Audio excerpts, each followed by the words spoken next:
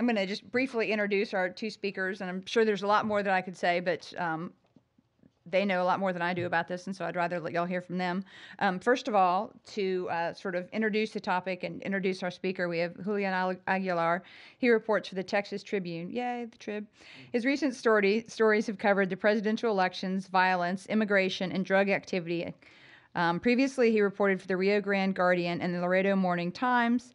He has a bachelor's degree in English from the University of Texas and a master's degree in journalism from the University of North Texas and this topic is close to his heart as he was born and raised in El Paso and has family in Mexico.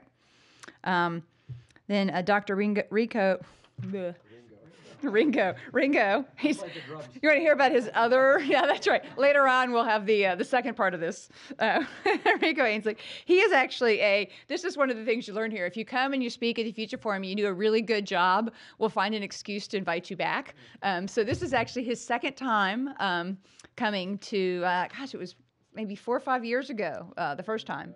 So anyway, he um, a whole different topic, also wonderful. Um, so we uh, we found another another excuse. He he has many many uh, hats he wears and many things he can do, and so we found something else uh, that he was knowledgeable on and asked him to come back and speak again. Um, he is a native of Mexico City and a U.S. citizen. At UT Austin, he is affiliated with the Lozano Long Institute for Latin American Studies, the Center for Mexican American Studies, and the American Studies programs, where he's also a professor and fellow in the Department of Educational Psychology. For almost two decades, he has devoted himself to working in communities in Texas and Mexico that have experienced significant conflict and transformation, exploring broader questions about how communities function and how individuals and cultural groups live within them. Last year, he testified before Congress, and his new book, so y'all, I'll put this on your list, um, and we will talk to the book cluster about reading this later on once it comes out. The Fight to Save Juarez Life in the Heart of Mexico's Drug War will be published this spring. Um, so, without further ado, um, I guess if you want to, Julian, come up and talk to us first.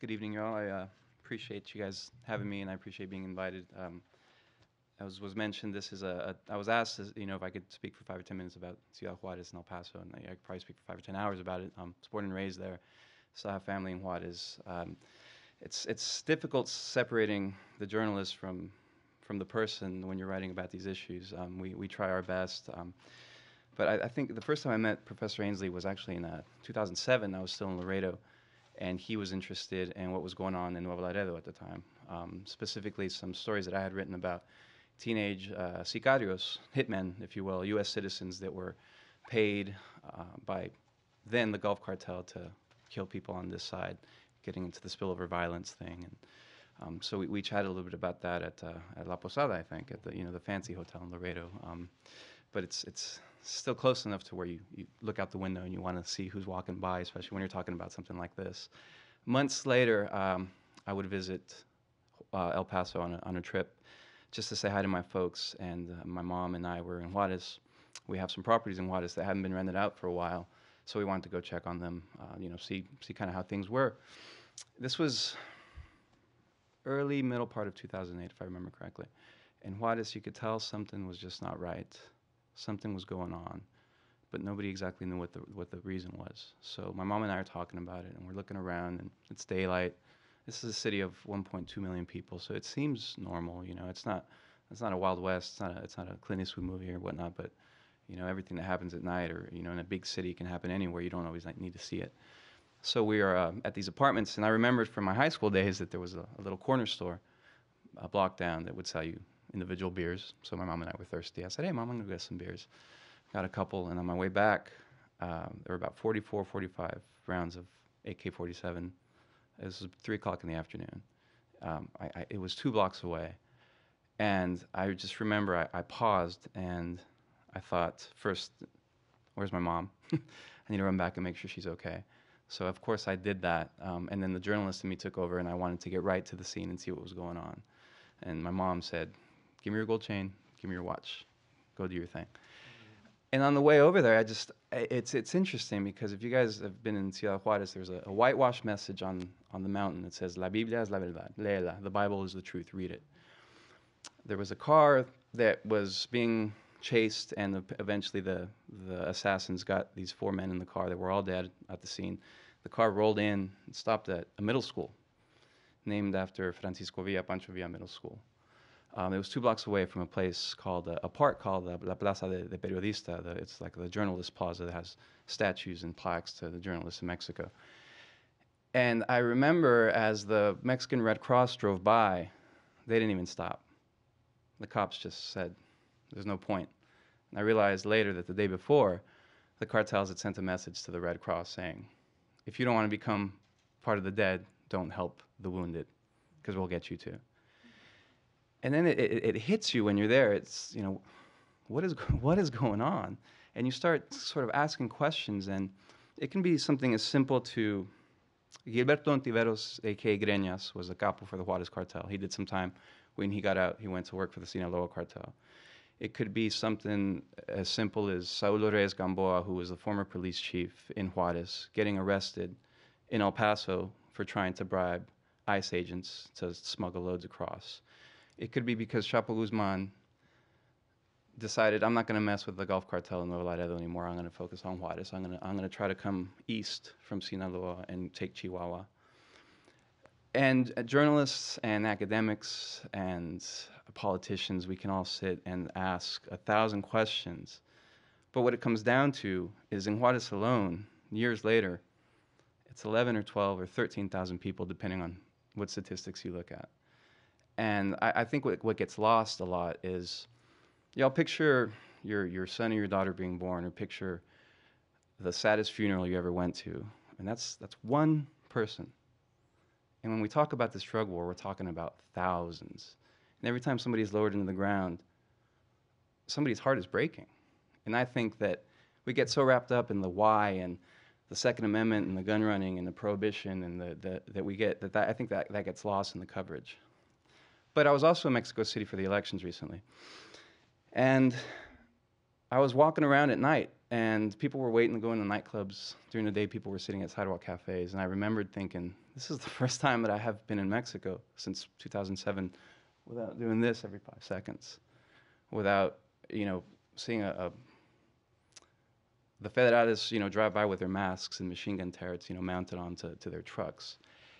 And I was somewhat hopeful. There was a lot of talk about the PRI winning, the PRI going back to the old days. You know, the PRI uh, allegedly started this. Calderon, actually, it was President Fox that at the tail end of his administration started the crackdown. Calderon picked it up and ran with it. He's been criticized. But it was a sort of odd balance of emotions thinking, so many thousands and thousands and thousands dead, and what's what's going to happen? Do people are people looking to the PRI again? Are people looking to the person? Are people just looking to find anything good in whichever party it is? And I think uh, Dr. Ainslie is probably the, the the expert on this, seeing as how he's researched it more. But um, in my brief introduction, I just wanted to give a perspective from a reporter that crunches numbers, that reads press releases, that's that's sometimes hailed as, as very brave for going over to Mexico for three or four days. And then, you know, I was, I was telling the professor I can flash a passport and come back to the promised land, you know. The real heroes, I think, are the, are the Mexican journalists that still are able to, every single day of their life, report on these issues, um, let people know what's going on, and they have nowhere to hide. Um, and they're, they're dropping, you know, one at a time, two at a time, three at a time. And this is going on in Central America, this is going on in South America. So I think that when we, when we when we sit and we read these stories and we have our own opinions, I think it's very, very important to realize that these these are people's lives that we're talking about. We get into the back and forth of why and how and who's to blame.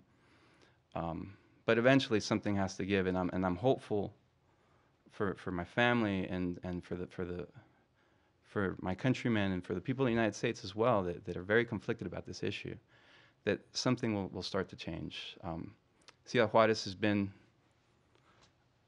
compared to what it has been, somewhat somewhat safer. Um, I think there were 38 homicides in in August, which was which is great, you know, considering that there had been three, four thousand a year, you know, in previous years. Um, but then again, we wake up this morning and we read the paper that just in the first five days of September alone, they've already killed, I think, 21 people. So it, it speaks to the unpredictability. You know, I get asked like, "Hey, should I go to Acapulco? Should I go to Puerto Vallarta? Should I go to Laredo?" Some some places are obvious, like, no, don't go. But even the places that you're not really sure of, you can't ever say with any certainty, sure, that place is fine, because you never know when it's going to kind of pop up. Um, but um, I'll, I'll, end there, and I'll uh, let Professor Ainslie take it up, and hopefully he can give us a better insight on what he sees as the, the future of, of Mexico, which, by the way, is Texas's number one trading partner, and the United States is number two trading partner overall. I think the economic interests of both sides get lost in the immigration debate and the drug war debate, but that's also something that needs to be um, at least in the back of people's minds when they talk about finger pointing is how much we both rely on each other's countries um, and from state to state. Um, so with that, uh, Professor Ainslie, thank you all very much. I appreciate it.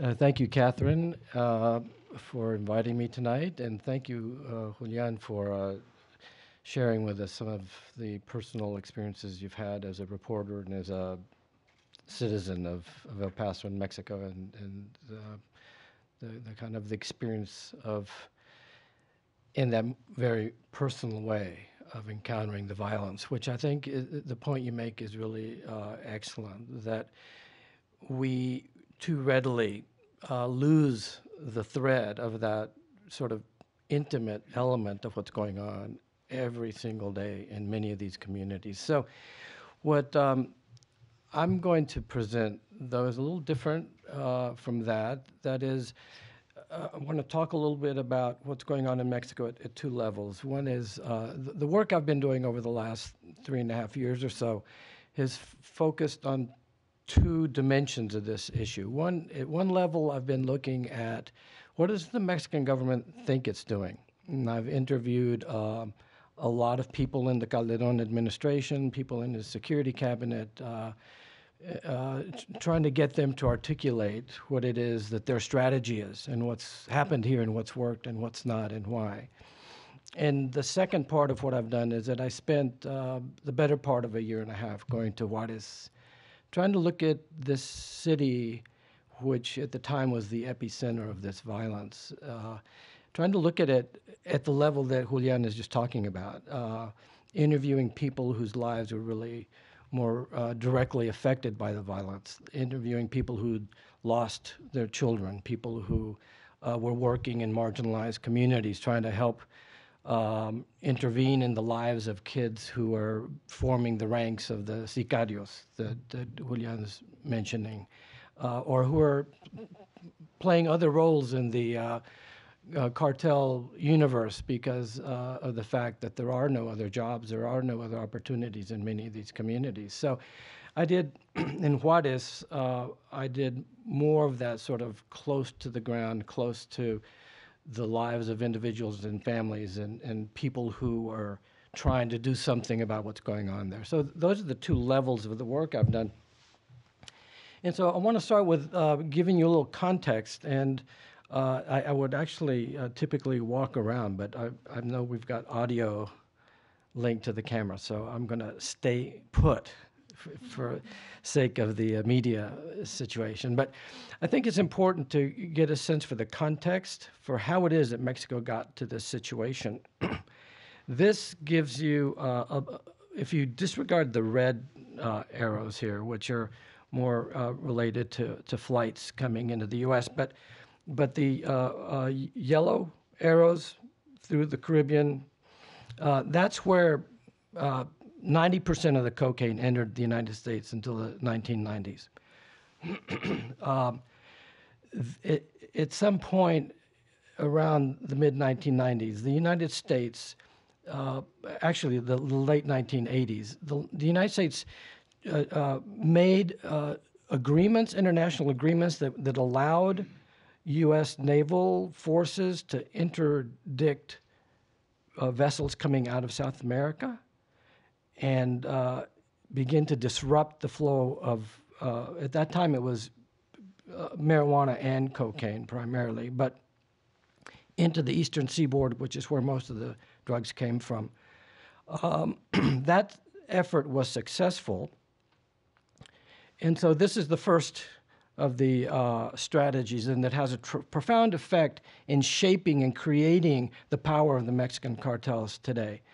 That's this uh, interdiction effort. The second occurs in the mid 1990s when the U.S. government sought to uh, seal the borders, strengthen border defense, and this has gotten even more acute since uh, in post 9 11.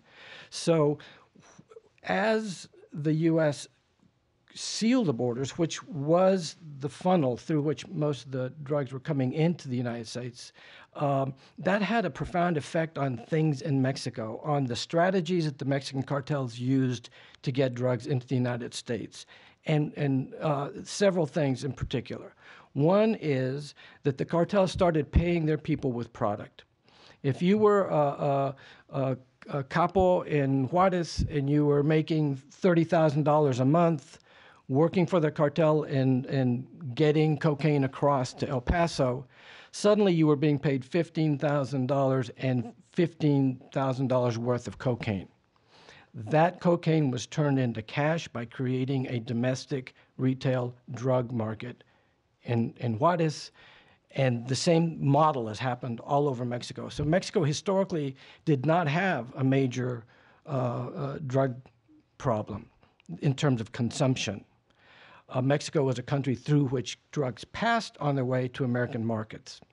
And so, suddenly in the mid 1990s, um, and, in, and especially post uh, 2000, there's an explosion in drug of, of, uh, of addiction in Mexico in communities where there's a, a lot of um, you know drug markets going on. This is really relevant to the violence that we're seeing and the number of deaths we're seeing, as you'll see in a second.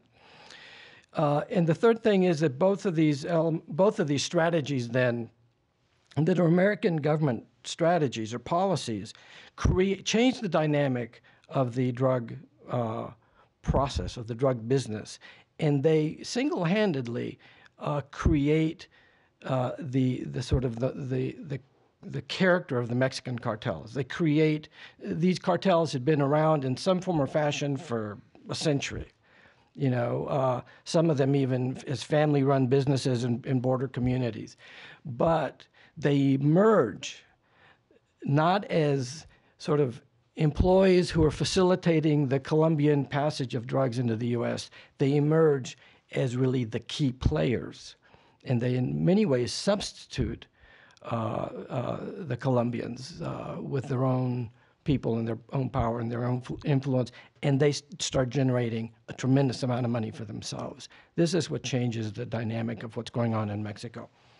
So um, I've really covered most of this, but uh, so hold the line in the mid 1990s was one of these really important policy changes that had a, a profound effect.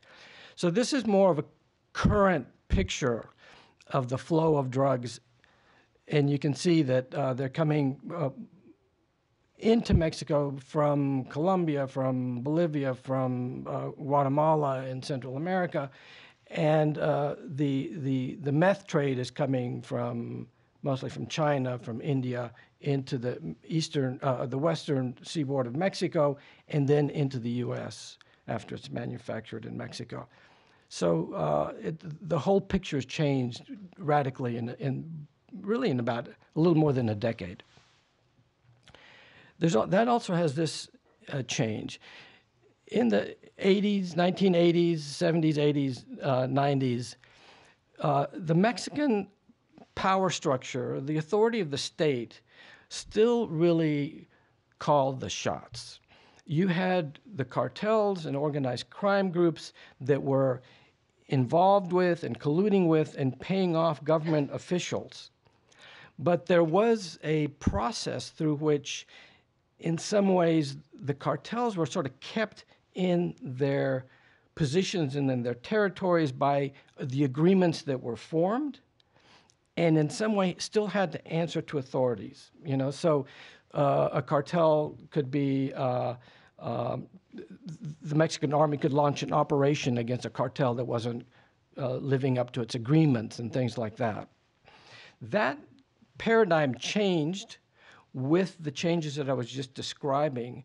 And in many uh, Mexican states and communities, the, the cartels became the preeminent power, the, Im, the, the force behind the, the, the political face of these communities. And I think the power dynamics really shifted profoundly, primarily as a function of two things. One is the, the, uh, the new and um, exponential growth of, of the wealth of these organized crime players, and secondly, the the weaponry that was now in their hands uh, post 2004. So Felipe Calderon launches the, the drug war in 2000 in December 2006 when he when he's inaugurated as, pres, as president.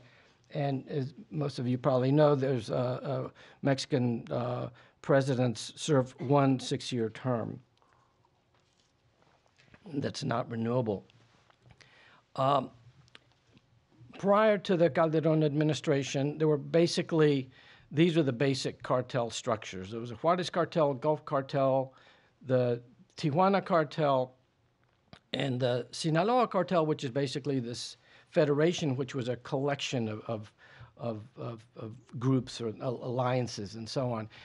And throughout, uh, prior to uh, Calderon uh, launching this war against the cartels, most of these cartels worked, you know, pretty well together. They had they had their own territories. Uh, if the Sinaloa people wanted to run drugs through Juarez, you know, they paid the Juarez cartel a percentage, 10%, 15%, uh, and their product was protected as it moved through Juarez cartel territory, etc.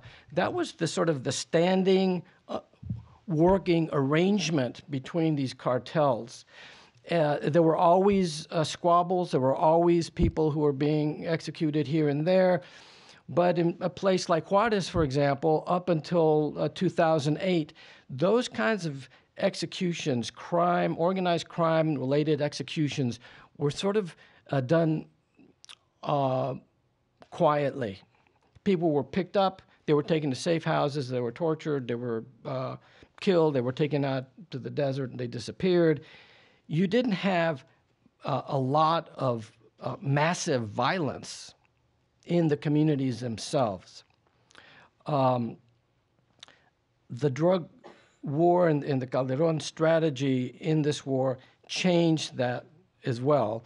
But um, I'll, t- I'll talk a little bit more about that in a second. So, at the time that Calderon takes office, I think it's fair to say that the, the, the, major drug cartels controlled most of the border areas, the border states, the, the, uh, the, the way that things operated in those communities, the, the state and municipal law enforcement in those communities, uh, as well as other like Michoacan and Guerrero and, and, and Jalisco and Sinaloa and places like that but especially along the border, it, it was it was uh, uh, uh, fist and glove the way in which uh, the cartels worked in terms of law enforcement, for example. Uh, there's no one who will tell you that the law enforcement was not owned and run by the cartels. They were the armed wing of the cartels. So uh, this is Calderon at the time that he, he makes this declaration of war. Um, Never in the history of modern Mexico since the revolution have you ever seen a Mexican president don military garb like this. This was unprecedented, and it was a real statement of where he was going. So I want to talk about the current violence. Um, the the tallies are uh, the numbers are really slippery. Let me just say that, but these are the official uh, Mexican government figures that say through September of 2011, that is, as of a year ago, there were about 48,000 people who'd been killed throughout Mexico between 2007 and September 2011. There are no official government figures in the last year. They have sort of shut down the uh, documentation of this, uh, you know, and, and the reasons are probably not, I'm, I'm, certain they have to do with the election and, and trying to sort of uh, stem the, the, uh, the, the, the, attitudes and, and the, the, the feelings in Mexico, throughout Mexico, about the number of dead, the violence in all of these communities, and so on. So, um, the figure I use is um, let's see if I've got it here, is somewhere between 55,000 and 60,000. I think that's a fairly widely accepted uh, figure. There's some people who are saying 100,000, 150,000 today. They're citing figures from the, the, the National Census uh, of Mexican uh, Bureau, but, but those figures include all deaths, not only supposedly organized crime related deaths. But let me say this that, you know, I spent a lot of time in Juarez. I went, I saw lots of crime scenes and talked to a lot of people. And th- among this 55 to 60,000 number are lots of people, I think, who are assassinated because they don't pay the extortion fees that are being demanded of them and things of that sort. So uh, this 55,000 to 60,000 number, which I think is probably certainly in the ballpark, but it it's victims of organized crime. A percentage of those are P, are are organized crime groups killing each other off, and a percentage of those are victims of organized crime. But it's really hard to tease those out, and I'll tell you a little bit more about why that's the case in a second. These are the most violent states for 2011, January through September, that we have. Uh, it's changed a little bit uh, uh, this year and other years. You know, so so, but the top uh, states on this list have been sort of uh, high violent states consistently for years now. Chihuahua always leading the pack by a significant margin. So these numbers kind of capture that. Um, this map is a little out of date. Coahuila, uh, between Chihuahua and Nuevo León, has had a lot of violence. Uh, Tijuana, Baja California, a lot less. Uh, Jalisco has more violence. Uh, Veracruz has gone up, and so on. So it's not exactly up to date. I apologize for that, but but just to give you a sense for uh, the, the, sort of the spectrum there. So I'm talking to these uh, Mexican government people, and I'm asking them sort of a consistent question: is you know what's the strategy here? What are you, what are you all doing, and and how are you going about doing this, and why? So the first uh, shocked me really when I had uh, the head of CISEN, which is like the Mexican CIA, tell me that uh, our strategy uh, consists, first of all, in recovering territory from the cartels.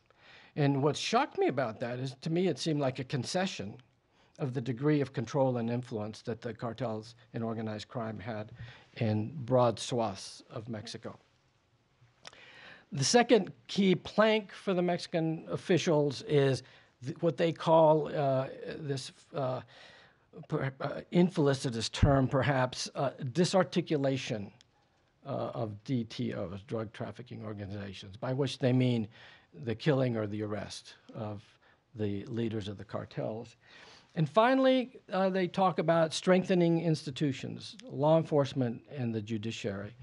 Those are the key planks of the Mexican government. They've been the key planks from the beginning of this war, and they are still things that uh, Calderon is referencing in his State of the Union speech last week. Okay, and we'll come back uh, at the end to sort of analyze some of these. But so the first problem that they run into is a real obvious one, which, uh, which I'm calling boots on the ground problem.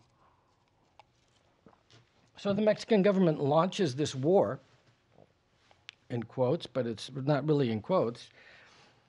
Uh, we know that in, in most of these border states, just for example, let's just take Chihuahua. We know that the state and the municipal police forces in that state are run lock, stock, and barrel by the cartels. Um, so, how are you going to take down or dismantle or disarticulate or whatever the euphemism is that you want to use? How are you going to go into these states and, and, and alter that situation? You can't rely on local law enforcement. You don't have anybody to help you do this in that, in, at that level. Secondly, the Mexican Federal Police at, in 2007 uh, consists of 6,500 uh, officers. The AFI, the so called Mexican FBI, 6,000 people, 12,500 federal law enforcement altogether. And I just give you this figure by comparison. There's 80,000 police in Mexico City alone, 12,500 officers, assuming that these people are not in collusion with some of what's going on, are, are really uh, just not an adequate tool for this purpose. So Calderon makes the decision that the only uh, alternative he has is to deploy the army. Meanwhile, he's, he, he launches a, a massive campaign to build up the Mexican Federal Police. So uh, I want to take uh, you to Juarez for a second and talk a little bit more about what's taking place there because uh, Juarez becomes basically the epicenter of this struggle and it becomes the testing ground for the Mexican government's policies. Um, and so in 2008, the Sinaloa cartel basically, as Julian was, was referencing, pulls out of Laredo, Nuevo Laredo, and starts moving into uh, Chihuahua and, and uh, um, Juarez in particular. They start actually in 2007. They start infiltrating their people. They start, they've already, they know all these people. They've worked with a lot of these people. They start uh, what they call in Mexico uh, levantando. They start picking up people, disappearing them, torturing them, getting information about who's holding what positions, which police are working with what uh, uh, groups, et cetera, et cetera. And by 2008, the, the Sinaloa cartel is ready to actually launch the assault on Juarez. And um, so that's why Juarez becomes so important and, and becomes head and shoulders above any other community in Mexico or Latin America, for that matter, in terms of, of the level of violence.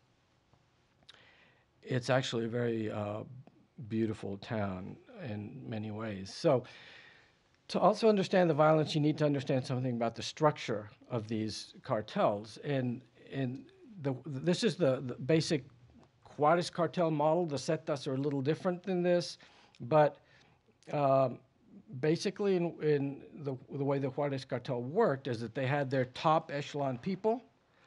Then they have their armed wing, which was the municipal police and the state police, La Línea, they were called. And then at the bottom, they had local gangs and the subsidiaries of these local gangs who were managing the retail drug markets at the street level. So those are the three tiers within. This is uh, Barrio Azteca or Aztecas in, in Juarez, uh, one of the Juarez cartel street gangs who, who um, con- control, manage the, the retail drug markets. This gives you a, a sense of the uh, explosion uh, uh, of uh, violence in Juarez. In 2008, that's a typo. That's uh, 1,621. It's not 162. In 2008 is when it explodes. And you can just see 2009, 10, 11. Um, you know, I think it was just a week or two that we learned that uh, the in, in Afghanistan we had lost the 2000th fatality, U.S. military fatality and that's over the course. That's that's uh, a full-blown declared war over the course of ten or eleven years. Uh, in Juarez, there were more people than that dying every year for several years. So it just gives you a sense for the scale of the violence that was being visited on this city. Uh, these are uh, some of the uh, scenes that um, I encountered. This this was uh, a family who uh, owned a, a key um, um, shop that made keys for people, and uh, I was told that, that they didn't pay the, the quota. And uh, one of the things that, that these cartels have done, and, and really this is more at the level of depending on, on the, uh, the the, the community in, in Juarez and, and depending on the, the amount of money you're talking about. But the, st- the street level gangs are, are extorting businesses and individuals in a rampant way uh, all over town. And so that's why I say it's really unclear how many of these fatalities are specifically drug-related people as opposed to sort of victims of this kind of organized crime. But the, what strikes me and I, what I hope strikes you is like you look at these children. This is an execution in broad daylight. Uh, there's no no one in Juarez who has not been directly affected by this violence. There's no community that's been spared. It doesn't matter if you live in the wealthiest enclaves uh, or the poorest of neighborhoods. Everybody in Juarez has seen the violence firsthand, has felt it in terms of family members and so on. And uh, this is an execution of a police commander, and you can really see the discipline of of the high higher level sicarios in, that that can pull off an execution like this. This isn't some 18 year old kid with an AK 47 who's just uh, firing wild shots at people.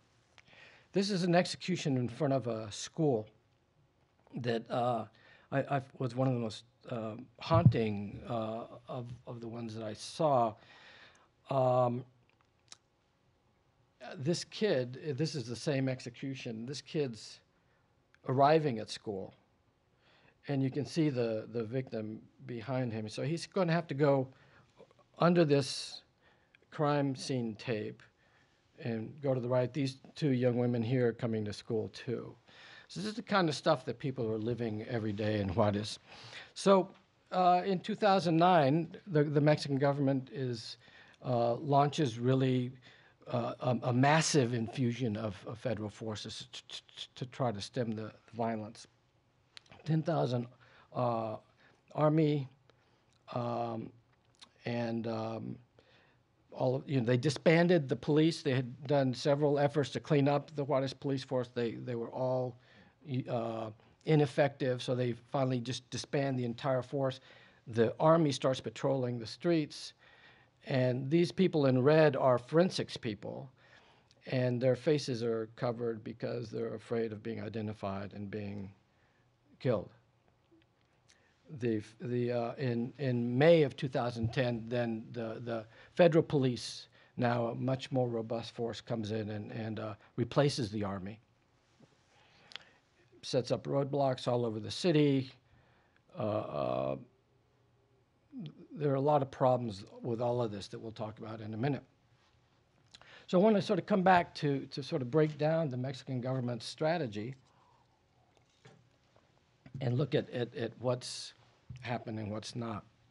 In terms of recovering territory from the cartels, uh, the violence, as if you follow the news, is, has, has spread to a lot of new communities, for example, that, that uh, like Veracruz, that historically did not have a lot of violence, but suddenly it's it's rife with uh, cartel violence. Uh, Nuevo, Nuevo León, you all have probably heard the story that Monterrey was one of the safest cities in all of Mexico, and in less than a year, it's it sort of becomes uh, really terrorized by the violence. Um, in all of these communities where, where this violence is taking place, you've got a, a, a, really a horrific dynamic taking place because the citizens in these communities are absolutely uh, vulnerable and they have nowhere to turn. They don't trust the authorities, they don't trust any of the authorities. And this is partly a function of, you know, decades, a century of being abused and violated and, and um, uh, having your own authorities turn on you and exploit you.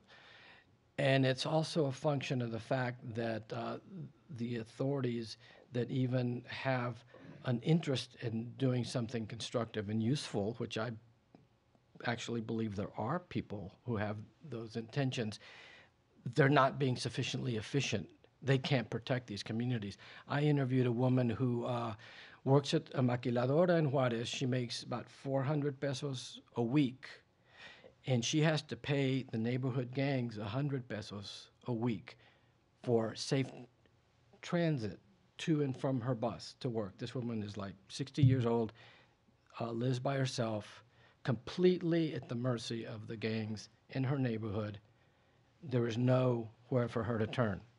Uh, so this is the kind of stuff that that's taking place, and so I think it's the, the, the recovery of territory strategy has clearly not worked. Um, and it it, it cost Calderon dearly at the elect in the polls. Obviously, his his party lost not only the presidency but a lot of political power. In terms of the, the disarticulation of the the drug trafficking organizations, actually, I think at this level, the, the, the Mexican government strategy has been more successful than they've been given credit for. I mean, there's a lot of people like this is uh, a sort of infamous guy, uh, that they have taken down. A lot of people who've been arrested. Uh, as I note here, 22 of the 37 most wanted on Mexico's most wanted list have been taken down. Uh, of the original cartels, a lot of these cartels have been severely weakened. The Tijuana cartel is shadow of itself. The Gulf cartel basically displaced by the Zetas and pushed out. La Familia severely weakened, atomized. The Juarez cartel, most people think, is a shadow of its former self. Beltran Leyva cartels, a lot of that leadership has been taken down. Uh, a lot of these mid-level uh, capos have also been arrested or killed each other off or whatever. What we've had also, though, is a so that, that's that's created a tremendous amount of violence, and at the same time that we have this sort of atomizing of the whole uh, violence structure, we've also got uh, the consolidation of power. It's, it's, kind of a paradox here. But the Sinaloa and the Zetas, I think, are emerging as the two most powerful cartels in Mexico without question. And so this is uh, an image of sort of the distribution of cartel influence uh, in early on in this war. And this is uh, a a more contemporary image, and with the blue being the Sinaloa cartel and the red being the Zetas. Um, they're, they're sort of rough images, but basically you can tell, tell that the Zetas basically control the eastern seaboard, those eastern border states, and the Zetas and the Sinaloa controls the western side of things. In terms of strengthening institutions, law enforcement, uh, the Mexican federal police is much more stronger, much more professionalized. Um, it's a much more robust force. There's uh, a lot of them are college educated. Um, I think that there's been a tremendous amount of invested in the Mexican federal police, and they have worked very closely with U.S. law enforcement. And there's a lot of um, un- until the recent uh, Cuernavaca CIA debacle, there was a, a, lot of cooperation and and um, and collaboration between them. Not to set aside, though, the fact that there are have been a, a, at the same time uh, some consistent uh, symptoms of, of, of deep structural problems. You may have heard that in the Mexico City airport that the Mexican federal police sort of control. Uh, there was they, uh, two officers killed uh, uh some of their colleagues. It was involving uh, their uh, management of, of drugs flying in from South America. In Juarez, there was a literally a rebellion of, of, a, of, a, of a group of something like 200 federal uh, police against their commander. They actually called the media and said these guys are picking up people, they're extorting them, they're planting drugs on them. Uh, they uh, and and they they dragged them out of their housing uh, quarters and and the, if, you know, four of those commanders were were uh, were imprisoned. So so I'm, I'm not saying that that uh, this is an ideal situation, but I'm just saying that compared to anything Mexico's had in the past, it's much better. But there are lots of problems remaining. State, uh, municipal, state and municipal police still highly problematic. It's been very difficult to clean up these police forces at the state and municipal level. Um, in terms of the institutional uh, uh, strategy, the judicial system remains highly problematic. And I think uh, my own opinion is that this is the Achilles heel of the entire enterprise. If you don't have a judicial system that works, there's no way that you can have any kind of an effective um, in, interference with the operations of, of, criminals of any sort. Uh, and it, it, it's uh, I think it's it's the Mexican uh, Congress should be ashamed of itself. Uh, there have been uh, calls for judicial reform going back uh, a long time. You may remember the million uh, person march in 2004 in Mexico City, where it was the largest outpouring of citizens in the history of Mexico, not counting the Mexican Revolution. They had one demand we want to clean up the police, we want judicial reform. And so uh, that, that continues. Uh, most crimes aren't reported because people don't, be, people know nothing will happen. Uh, but this is the really problematic statistic. Only 1% to 2% of crimes get solved in Mexico. So if you have a uh, uh, city like Juarez, where there's been almost 11,000 murders, and there's only been about 200 people processed and imprisoned for those murders, that tells you the degree of impunity that people have. You, unless you are caught red-handed in front of somebody committing a crime, any kind of crime, I'm not talking about just cartel-related crime, uh, the chances of you having any sort of consequence are almost nil. So there is no investigation still after almost 20 years of, of appeals. So this is a, a protest at, at the University of Juarez uh, uh, based on this same issue.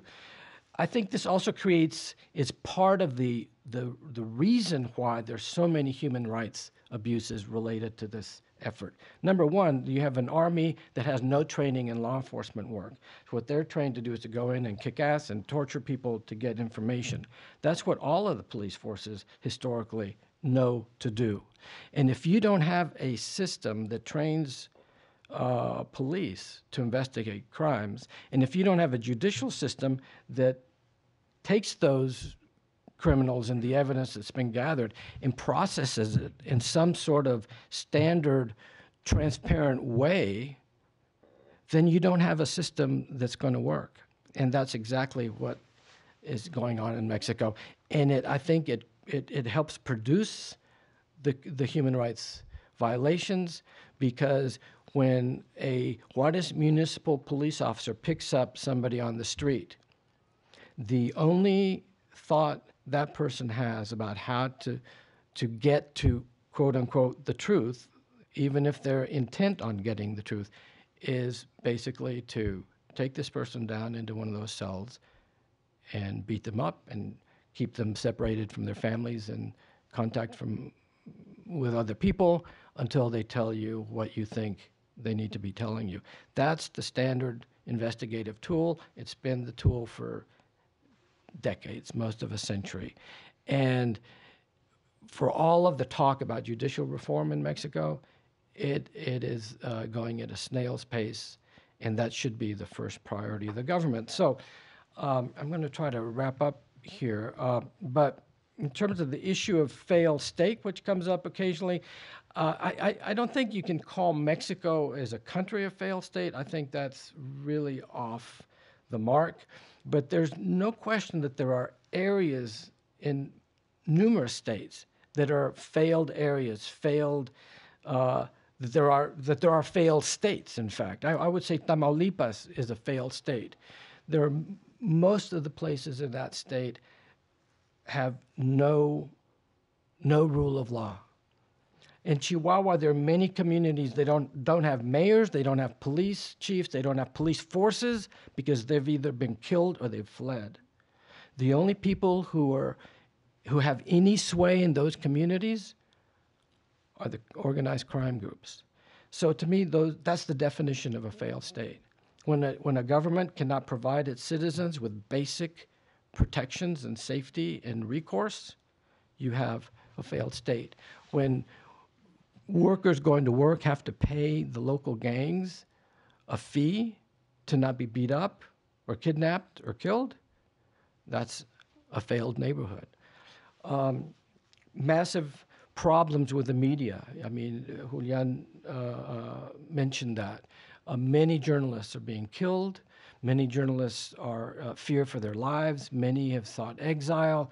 We've got a massive problem. That that's another sort of symptom of a failed state, right? When when people whose job it is to inform us about what's going on are not allowed for fear of their lives to communicate what they know and what they see.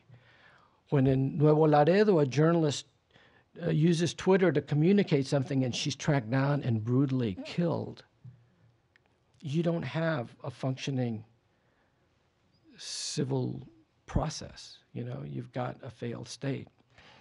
Dozens of mayors have been uh, executed in Mexico. The, the, uh, the gubernatorial candidate in, the 2010 elections in Tamaulipas assassinated in broad daylight on a campaign tour at, uh, you know, 10 or 11 o'clock in the morning. And the violence in a lot of these communities continues. So, um, and, and one thing that's not reported is that in these same areas, the ancillary crime has just exploded. So, you know, we talk about the drug war, but what we don't hear a lot about is the fact that a lot of the violence is taking place between people who aren't cartel members. Uh, you know, they're not involved in that at that level of, of uh, organized crime. They're local uh, gang members who are uh, killing each other, who uh, go into homes and, and beat up and torture and rape and and maim people who don't do what they want them to do, et cetera, et cetera. So uh, there's a lot of extortion going on in, in these states, especially, but in lots of places. There's a lot of kidnappings. The, the, and the cartels are also involved in that in, in terms of change, changing their business model to try to find other sources of income.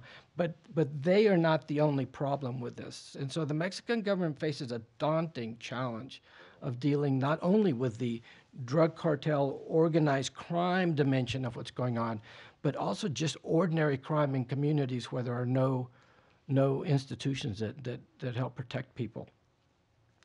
Um, uh, most of this, uh, I'm just going to uh, kind of run through this. I think you're probably aware with all of this, uh, but the amount of profits that are being generated uh, by U.S. drug consumption are enormous.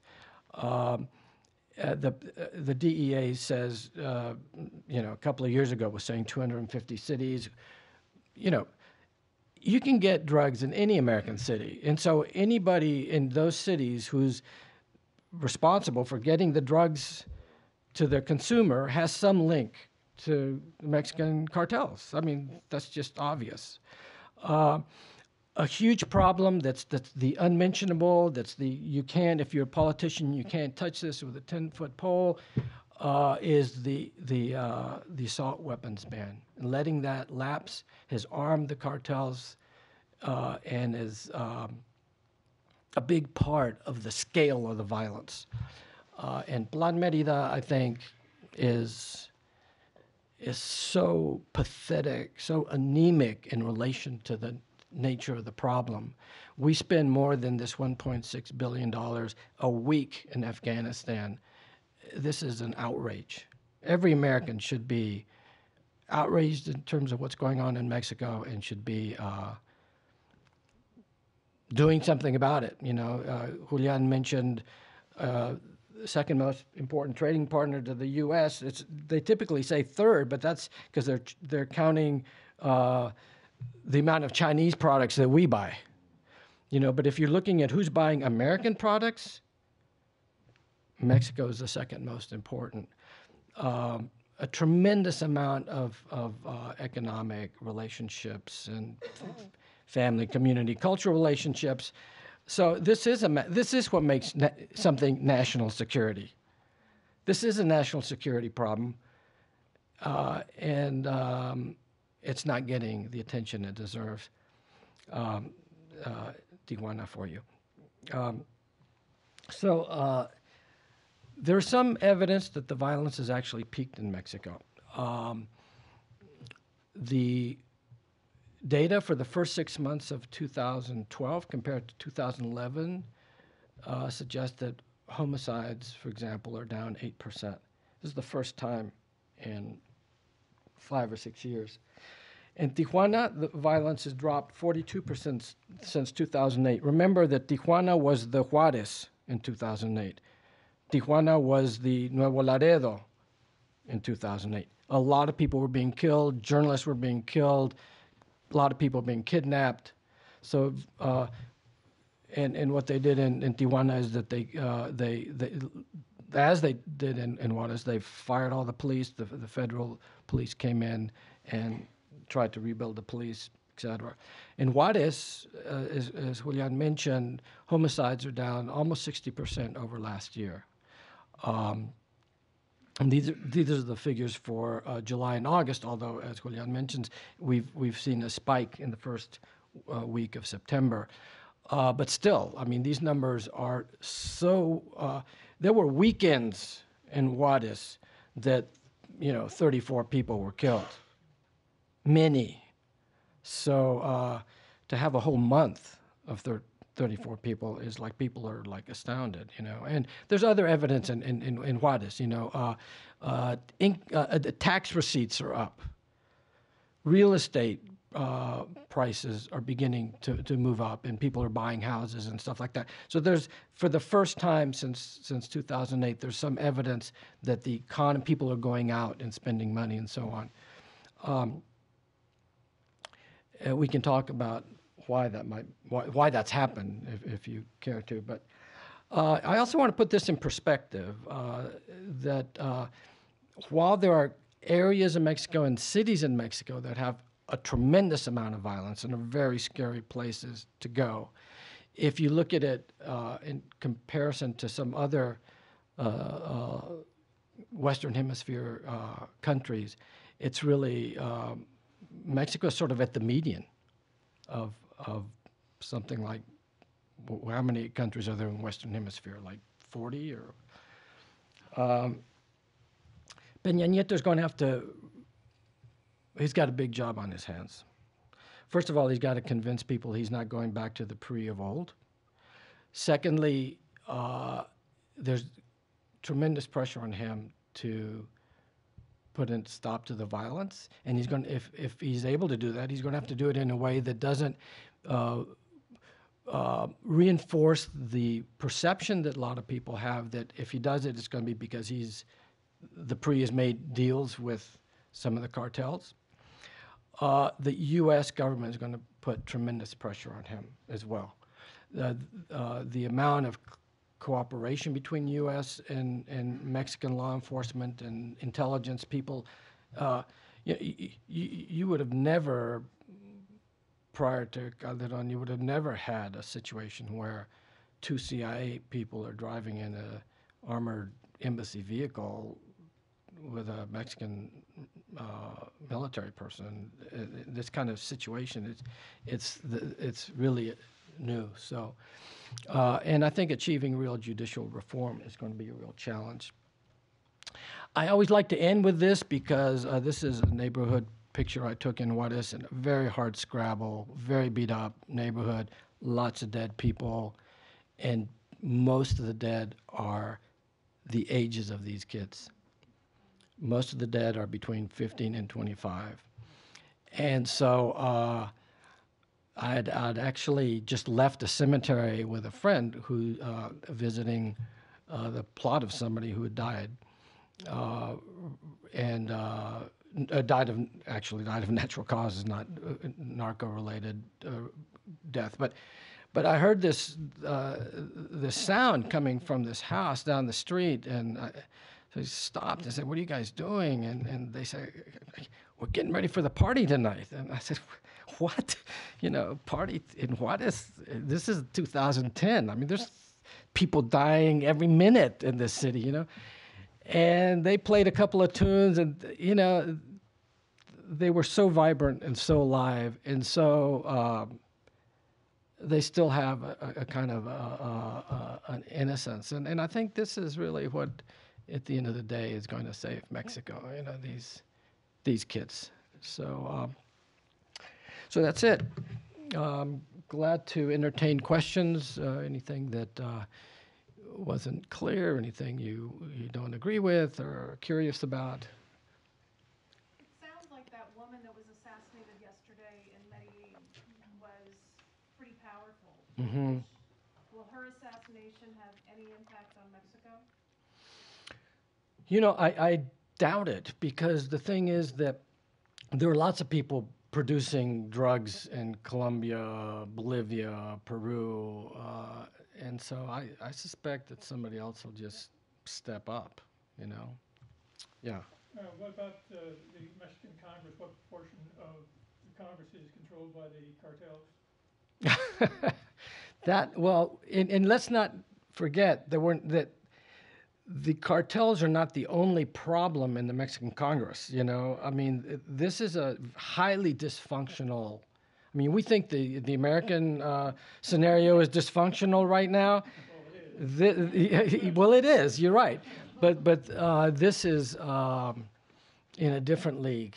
You know, if you look at you go on YouTube and look at some of these sessions, people are just completely nuts. You know, and uh, but so i i i the the real question is how much corruption and you know a percentage of that corruption is cartel driven. I mean, certainly the cartels, in terms of judicial reform, for example, have a tremendous investment in the status quo, keeping it the way it is. They don't want a judiciary that works. They don't want uh, a, a relationship between law enforcement and the courts that's functional and that's transparent, et cetera, et cetera, et cetera. It's not in their interest, you know. So, but then also other people who are involved in other kinds of corruption, it isn't in their interest either. So there's a real collusion there. So, you know, I, I don't have a number, but it's a it's a huge problem. Yeah. What do you think is turning around in? Uh, well, I think several things. You know, the, the if you go if you ask people in Juarez, uh, there's one answer they'll give you, uh, and that is that the Sinaloa cartel won. They've wiped out the Juarez cartel. They're calling the shots, and anybody who who was in their way has mostly been removed. That's that's the standard party line. Uh, you know, that's also a very cynical view. That, and I'm gonna, I, I'm probably lone voice in this, you know, but uh, here's how I see it, you know, and, and it's probably uh, sort of the standard. What's that?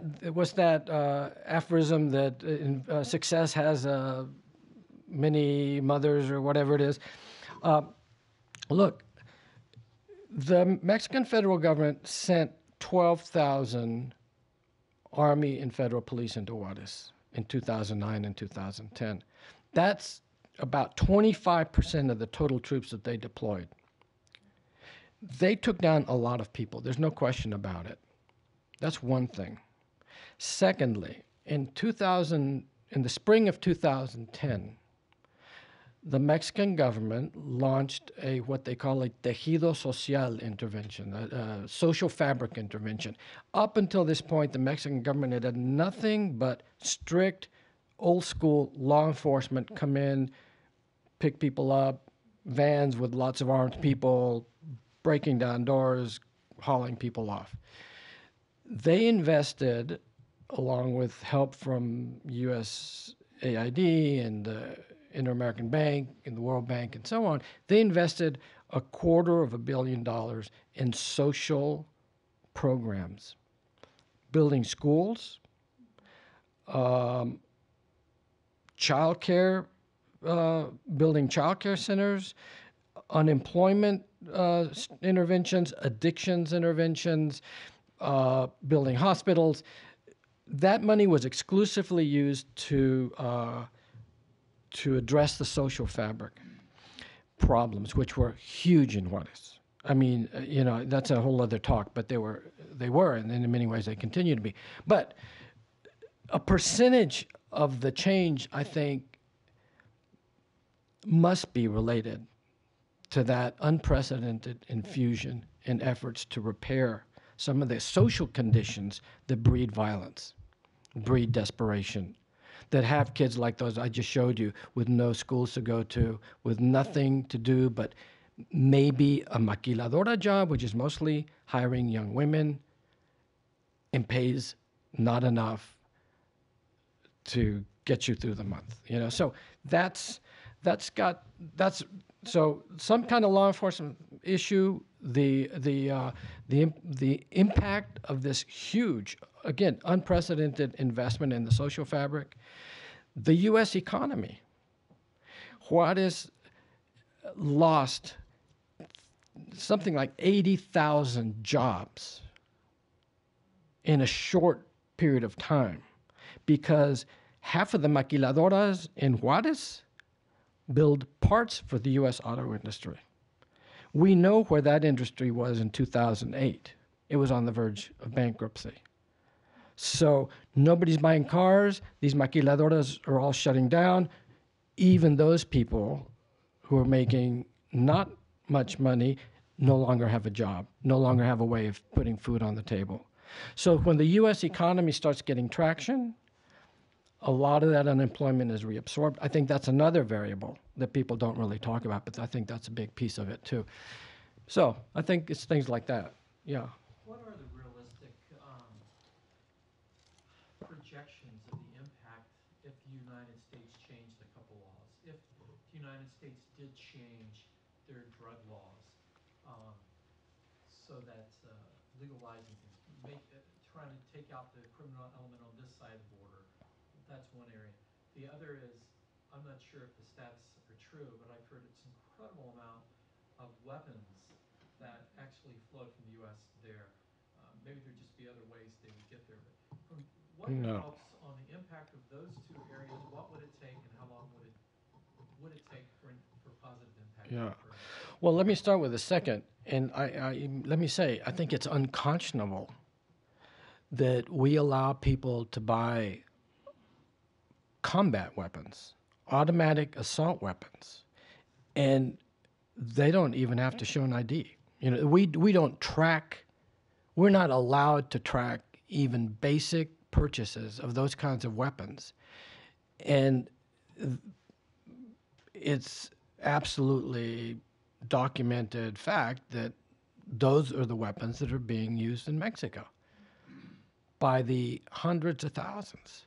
So that's got to stop. But we don't have the political will to even have a national dialogue about that. You know, people are so terrified of raising some sort of Second Amendment something. We had an assault weapons ban. And it wasn't until it lapsed, until it was allowed to lapse, that we had, you know, this huge explosion in, in uh, the use of these weapons in Mexico. People, uh, cops as well as criminals in Mexico were using, you know, they had their 38 revolvers and their whatever, but they nobody had assault weapons. In Mexico, they're called weapons for the exclusive use of the army, because the army is the only force in Mexico that had those kinds of weapons, and so that's huge. In terms of the the other question, yeah, that's another di- conversation that we have a very difficult time with. You know, uh, it, it's obvious you take the money out of this business, it would. That's what would bring it to a stop. That's actually that's the only thing that will bring it to the stop. I mean, we've we've had this war on drugs for decades, and it's done nothing, nothing. So, i- i- any kid in at Austin High School can tell you where to get anything you want. And that's not just true in Austin, that's true anywhere. So it's an utter failure, but we don't seem to have the political will to look it in the eye and say, okay, what are the tough choices here? If we legalize drugs, it's going to take all the wind out of the sails. It's also going to produce a lot of addicts. Have you ever seen somebody who's addicted to meth? Somebody who's addicted to uh, crack?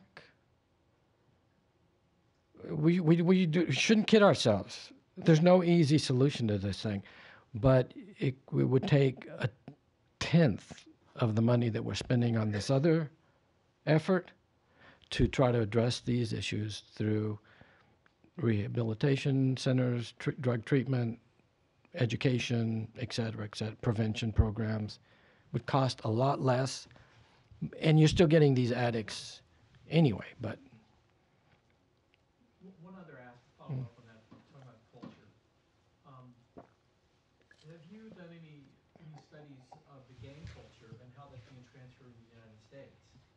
understand what's happening in a lot of communities throughout the United States, uh, influences, um, and you mentioned schools, et cetera. Well, have you, have you s- seen any, um, associations, Uh, in Mexico, you mean? uh, from the, the, the, like the drug cartels and the gang, the culture from Mexico? Coming to the States? Right. Well, I don't have any personal experience with that. I mean, the the reports I read say that that yeah, local in, in every community there are local gangs that are running this show for. The, it's a business relationship that they have with these cartels, and you know a lot of them are gangs that start in prison and then continue doing what they do. You know, so yes. Uh, you mentioned on the slide about the risk of the cartels diversifying into the oil industry. Is Pemex nationalized currently? I mean, it goes on and off of being Mhm. nationalized. And, you know, what do you see going on there versus, uh, the world oil culture and balancing all that with OPEC and Venezuela and the US consumption? You know, I'm not an expert on that, but what I do know is, uh, look, I'm in Mexico City um, three weeks ago. Reforma, the, the leading newspaper in Mexico City, front page story. They have a reporter drive uh, in San Luis Potosí between two points. In that, I don't know, it's like a 50 mile stretch they count something like 32 sorry about that 32 little thatch hut places where people have barrels of gasoline that they are you know selling to put into your car for like 35 40% less than if you went to a uh, state gas station. I mean you know, the, so there's the, the, the Pemex is so thoroughly saturated with corruption. That's one problem, and it is still nationalized, and it's been nationalized since the 30s. Uh, it's a huge problem. It, you know, Pet- El Petróleo es Nuestro was a was a rallying call in Mexico in the 30s. You know, and and so there's a tremendous amount of pride in the idea uh, that that Mexico owns the, the oil industry but beneath that the, the sort of the facade of that nationalism is a real crisis. And uh, you know calderon announces that they found all of this oil off of uh, in the gulf of mexico et cetera.